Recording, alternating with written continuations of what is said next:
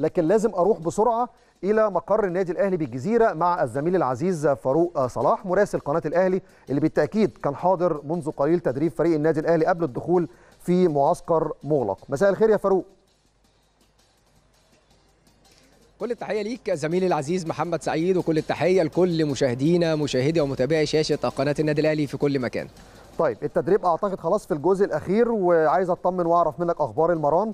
والنهارده بالتأكيد هيكون في إعلان للقائمه والدخول في معسكر استعدادا للقاء سموحة بكرة إن شاء الله المباراة الساعة 4 العصر على استاد الأهلي والسلام بالفعل زميلي محمد يعني إحنا خلاص في الأوتار الأخيرة من تدريب فريق النادي الأهلي اللي انطلق في تمام الساعة الرابعة بدأ بمحاضرة فنية لمستر بيتسو موسيماني عقد محاضرة فنية مع اللاعبين طبعا عرض من خلالها الأخطاء والإيجابيات والسلبيات بتاعه مباراة غزل المحلة الأخيرة اللي انتهت بفوز النادي الأهلي بثلاثة أهداف مقابل هدفين وأشاد ونوه على روح الفانيلا الحمراء وروح قميص النادي الأهلي وهو دايما يعني في كلامه مع اللاعبين بيتكلم على قيمة النادي الأهلي. يعني مستر بيتسو موسيماني واحد من المدربين اللي بيعي قيمه وشخصيه النادي الأهلي وقال ده أمر مهم جدا إن إحنا نلعب لآخر ثانية ودي اللي أنا دايما كان معلوماتي على النادي الأهلي ومعرفتي عن النادي الأهلي إن دايما النادي الأهلي على مدار تاريخه كله لعيبته بت يعني بتتوارث أمور من جيل بعد جيل اللي هي اللعب الآخر دقيقة وروح الفانيلا الحمراء. طبعا أيضا عرض يعني الملخص لفريق سموحة في آخر أربع مباريات. طبعا فريق سموحة اللي لعب أربع لقاءات فاز في لقاء وتعادل في ثلاث لقاءات لم يتلقى أي هزيمة. طبعا وحدد من خلاله إيه اللي هيتم النهارده في التدريب انطلق المرام بشق بدني خفيف مع مخطط الأحمال كابيلو ووحدة خاصة لمستر ميشيل يانكون مع حراس مرمى النادي الأهلي. كانت أكثر من رائعة وظهور اللاعبين حراس مرمى النادي الأهلي. اتكلم على الشناوي أو علي لطفي أو شوبير أو حمزة بظهور بشكل أكثر من رائع. ثم انطلق مران النادي الأهلي ومستر بيتسو موسيماني. محمد أنت عارف خلاص بقى من خلاله هيبقى يعني بيحط يعني التكتيك اللي هيلعب بيه مباراة سموحة. طبعا أنت عارف يا محمد في غيابات في صفوف النادي الأهلي.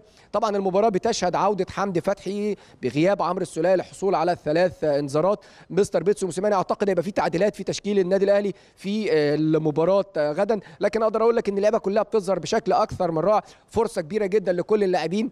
يعني شاف الجدية والروح عند اللاعبين. الفوز الأخير في مباراة غزل المحلة رفع أكتر من الروح المعنوية لدى اللاعبين. مستر بيتسو موسيماني يا محمد يعني وأنا بتابع المران وقف المران أكتر من مرة. في بعض الجمل التكتيكية بيطالب إن اللعيبة بينفذوها بالشكل المطلوب. ومن الأمور اللي هو بيركز عليها في كلامه مع اللاعبين ضروره استغلال العشر دقائق الأولى. هدف مبكر في أول 10 دقائق بيريح اللاعبين وبيدي أفضلية للنادي الاهلي في اللقاء.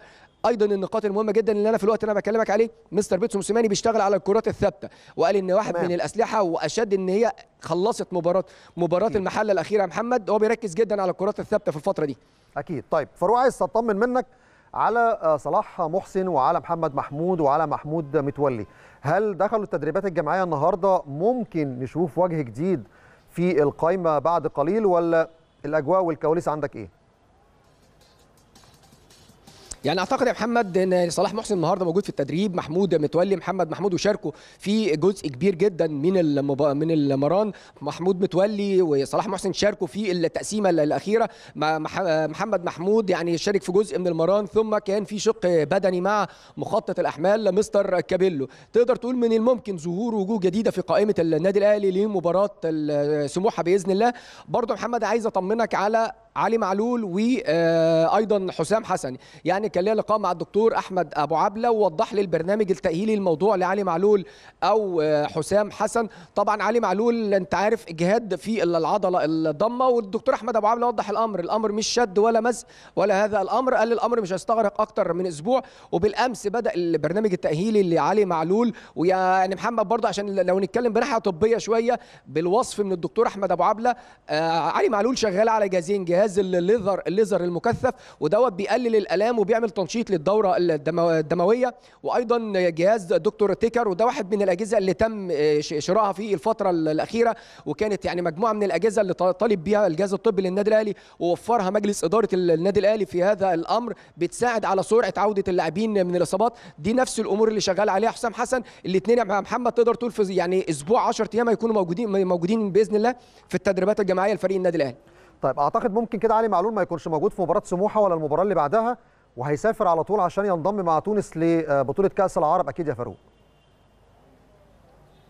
بالفعل يا محمد علي معلول خارج مباراة سموحة وأيضا حسام حسن خارج مباراة سموحة ولسه يتم تحديد الأمر هل هيلتحق بالمنتخب التونسي من يعني خلال الفترة الحالية أو لأ. لسه يعني الأمر ده يتضح خلال ال 48 ساعة القادمين بإذن الله. طيب سؤال بقى مهم جدا.